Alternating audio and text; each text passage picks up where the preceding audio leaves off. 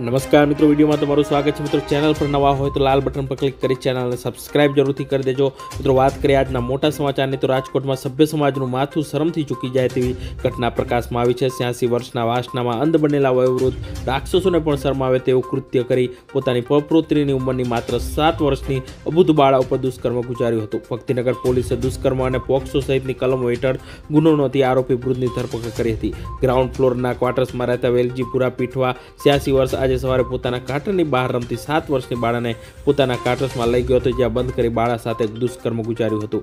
બાળાએ વિરોધ કરતા તેને ચૂપ કરાવી દીધી હતી. એટલું જ નહીં, દરવાજો આગળીઓ પણ તેણે ખોલવા દીધો નહોતો. મહામહેનતે બાળા રડતી રડતી ક્વાર્ટર્સની બહાર નીકળી હતી અને આંખમાં આંસુ સાથે વાલીઓને આપવી હતી, કહેતા પાડોશીઓએ જ પણ જાણ થઈ ગઈ હતી. આખરે પાડોશીઓએ મહિલા હેલ્પલાઇન અભયમનો સંપર્ક કરતા તેનો સ્ટાફ સ્થળે પહોંચી ગયો હતો. અભયમના સ્ટાફ પણ માહિતી મેળવી સ્તબ્ધ થઈ ગયા હતા. આખરે અભયમના સ્ટાફે ભોગ બનાર બાળાની પૂછપરછ કરતા તેણે આપવીતી કહી હતી, જેથી અભયમનો સ્ટાફ ભોગ બનાર બાળા અને તેના વાલીઓને પોલીસ સ્ટેશન લઈને પહોંચ્યો હતો. તો મિત્રો, આ વિશે તમારું શું કહેવું છે? કોમેન્ટ કરીને જરૂરથી જણાવજો.